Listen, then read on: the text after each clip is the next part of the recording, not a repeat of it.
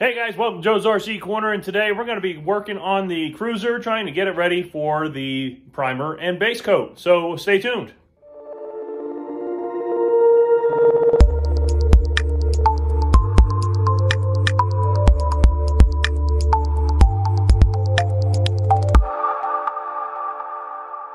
All right, guys, so like I mentioned, uh, we have pretty much gotten the airplane ready for uh, for primer and paint on the outside, at least for the base coat, to start getting it ready. Uh, so what we're going to be working on today, and most of this is going to be all in time lapse, is just basically disassembling everything, taking all my antennas back off the airplane, uh, taping everything off because uh, I don't want to get any overspray inside the cabin here. Uh, so we'll get all of that taped off. I have uh, some some plastic for uh, car painting. I have masking tape, and we're going to get everything all prepped. The other few things that we're going to be working on today is also um, final, final drilling these holes here, so that way they're all ready to go. These are going to be painted off the airplane, and then we're going to wrap the cage in, uh, in paper and masking tape to make sure that the black stays black on there. And then we're going to go ahead and uh, basically just cover the whole thing up there with plastic uh, the panel up in the front, um, the front skin, I'm, I'm going to paint that probably off the airframe because I think it's going to be a little bit easier. So I'm going to have to pull the firewall and get that panel off. And we're going to go ahead and pull the electric, the uh, instrument panel out of there too, because I don't want to get any paint on any of my instruments in there. So we're going to make sure all that is peel, uh, is, is removed from the airframe uh, in preparation for this paint job. Um, Now that we've gotten the tail all closed up back there, we'll be able to get that painted as well. So basically today is going to be all paint prep. And then tomorrow, hopefully, we'll be able to go ahead and get this rolled out into the inflatable paint booth and get it painted. So that's the plan. Uh, we're going to go ahead and get moving on that and uh, see how far we can get. It's going to be an all-day job getting this prep for paint, so uh, especially to do it properly. So uh, stay tuned and uh, I hope you enjoy the video.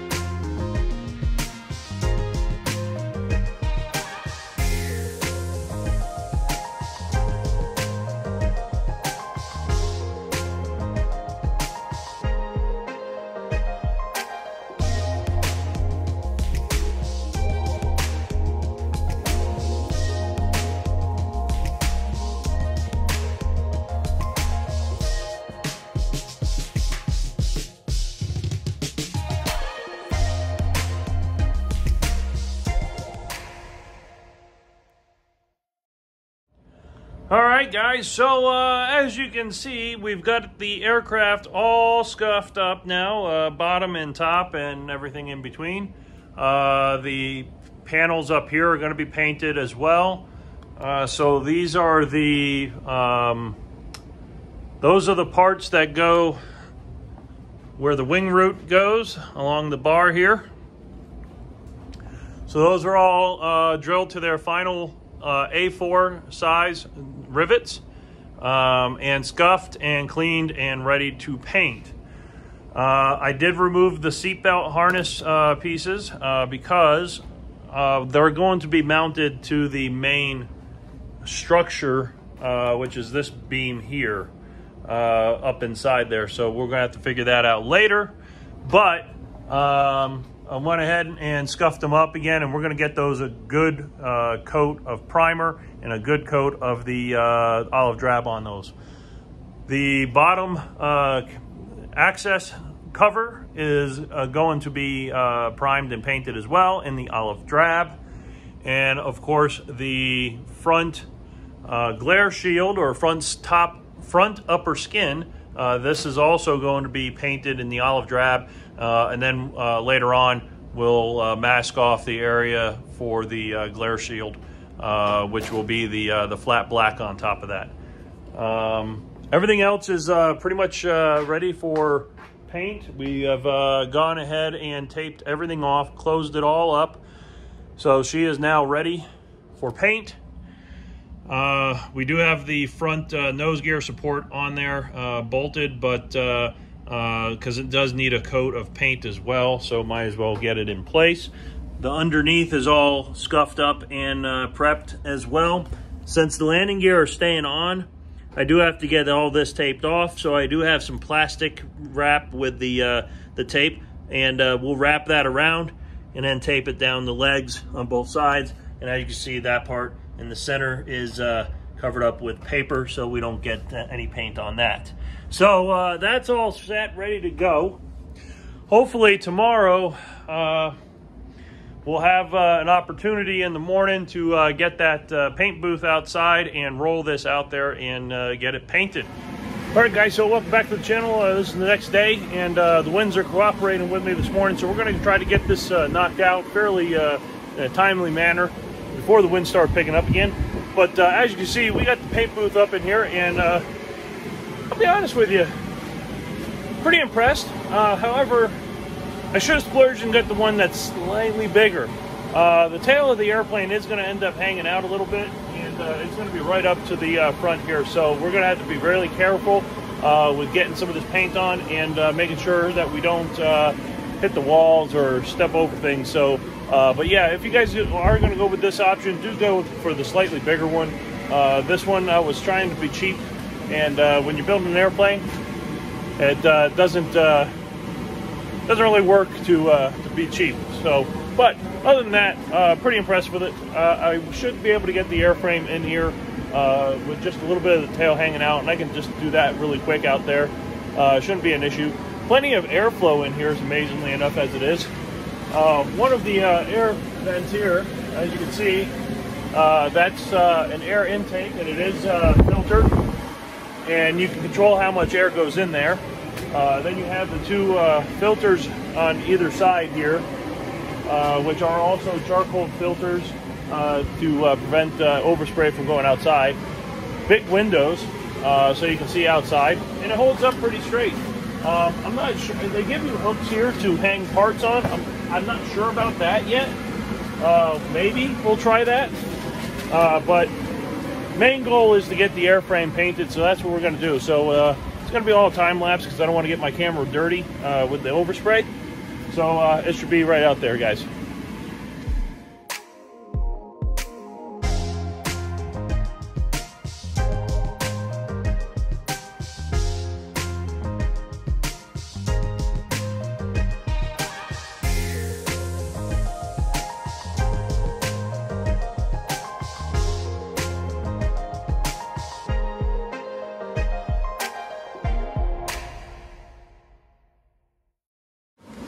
Okay guys, so as you can see, we got the uh, gray primer on, uh, ready for, uh, got that piece also primed. that panel I'm to have to wait on. It already fell once, and I don't want this to uh, collapse on me. So uh, we got the primer on. We're to go ahead and mix up the olive drab and uh, get that prepped and ready to spray. Everything looked like it came on pretty nice. Coated very good. And that PPS system from 3M worked very, very well for inverted uh, spraying. So very happy with that. Coverage was good. And uh, we're going to go ahead and uh, get that olive drab mixed. All right, guys, be right back.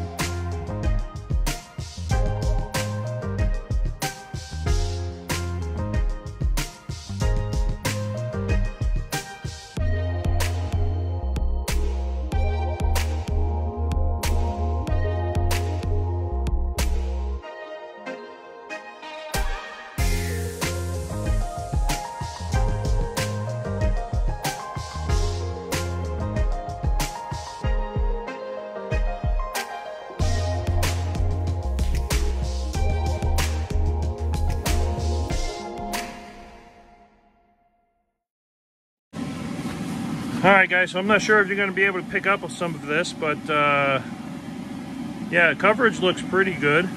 Yeah, I do see the little bit of orange peel. Uh, I'm not too concerned about it, to be honest with you. And of course, uh, hair got in there. Downside to having a beard, guys. Uh, but uh, I'm pretty happy with the coverage of this paint. Of course, the winds are starting to blow now, so we're going to have to start getting ready to pull this down uh, fairly soon, but uh, came out pretty good. So I'm going to go ahead and start working on uh, seeing what I can do to start getting this uh, cleaned up.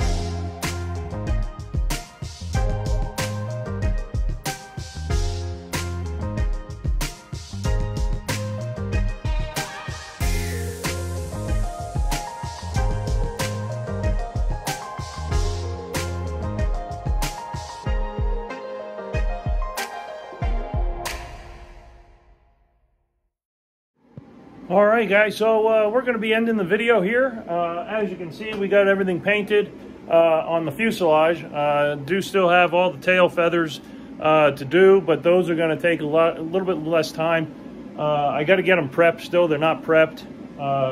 but the little paint booth did a pretty decent job. Um, I mean, it wasn't perfect. I, you know, like mentioned, the tail hung out, but, you know, paint on and uh, I like it. So that's all that matters. So uh, next week, what we are going to probably start working on is figuring out how we're going to do the white and the black stripes on here, or if I'm going to do the, those stripes. I haven't decided. Put it down in the uh, comment section below if you think I should put D-Day stripes on here. Um, and uh, we'll see. We'll see. Uh, see if you guys uh, if you guys vote for it and you guys want to see the D-Day stripes on here, then we'll go ahead and do D-Day stripes on here. Uh, but uh, I'm really happy with this paint. This paint goes down really nice, really smooth. It levels itself out really nicely. Uh, very little orange peel, if you ask me, and it's not extremely flat. It's more of a satin, which is kind of nice. Uh, so I'm hoping that the white is also the same way. I know the black is because I've already used the black multiple times, uh, such as on the landing gear, uh, the cage, and uh, and so on. So uh, I'm hoping the black, the white is also a very uh, kind of a satiny look. I haven't tried it yet. I haven't looked at it, so we're going to see. But I'm really happy with this paint. Um, I'll leave the link in, this, in the description down below. I bought it on Amazon. It's a um, it's actually from uh, Hot Rod. Oh, let me turn this can around here, and I got to clean up here. Uh, so it's um, it's the Hot Rod Flatz. Not sure. There we go. It's the Hot Rod Flatz uh, urethane. Uh, seems to be pretty decent paint. Goes down nice. And uh, for the primer, I used the two-part epoxy primer from uh, Eastwood. Uh, also goes down nice. Uh, I do um, reduce both of them because I want to keep it, uh, you know, lightweight. Uh, so we do use some reducer in there, uh, especially for the temperatures that we're running out here. Uh, this morning it was in the 60s, eventually went up into the 70s. and it's starting to get really warm now. So I'm actually glad that I got all those done today. We'll be able to start putting that away, get all this cleaned up, and uh, we're to call it for the day. So this video might actually come out before the Saturday if you guys... Uh... But uh, yeah, so we're really happy with this. Okay, guys, thought I'd do one more video. I still got paint on my face, but uh, one more uh, just to close the video. I want you guys to see this uh, with better lighting. Um, she looks awesome, guys. Uh, she really does. Um, I'm really, really happy with this paint. Um, came, went on smooth. Uh, do have, you know, like I mentioned earlier, there's probably a couple spots where I got a little bit of orange peel. Uh, maybe a little bit of roughness up on the top. But uh, all in all, uh, she's really nice. She's uh, she's clean. And I really love this color. Um, it's going to look really sharp with the uh, D-Day stripes on it, uh, if that's what you guys uh, think I should do. Uh, you guys uh, put down in the comments down below, do you think D-Day stripes should be on here? If so, put them in the comments. Uh, otherwise, I was going to go with an L19 color scheme, which would be the olive drab, um, black glare shield, going out onto the, the cowl. Um, blacked out um, stars and bars.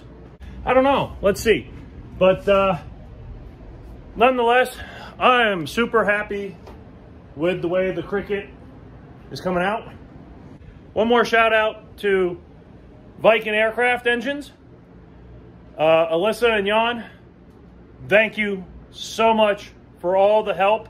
Uh, I just got notified in uh, with Facebook through uh, Alyssa that my 130 is coming, and it's going to be shipped out on Tuesday of uh, next week sometime. And I am so looking forward to getting that baby on the front of this airplane. So that means I have to get this nose wheel done. I've been putting this part off, uh, drilling out those plastic blocks uh, for quite some time and uh, it's time to get that done. So um, we're going to get that completed, get that all uh, tapped, and uh, get the bolts in, and um, get that finalized. So that way I can start working on finishing up the uh, firewall here. Uh, and now with the engine coming and the uh, engine mount, I'll be able to get the the blocks or the steel inserts that go inside the fuselage behind where each point of the mount uh, attaches to. So I'm looking forward to getting that. And uh, it, it, I, am just loving, I'm just loving how she's coming out, guys. What do you think? Uh, if you like it, great. If you don't, it's my airplane. So uh, keep building, keep flying, guys.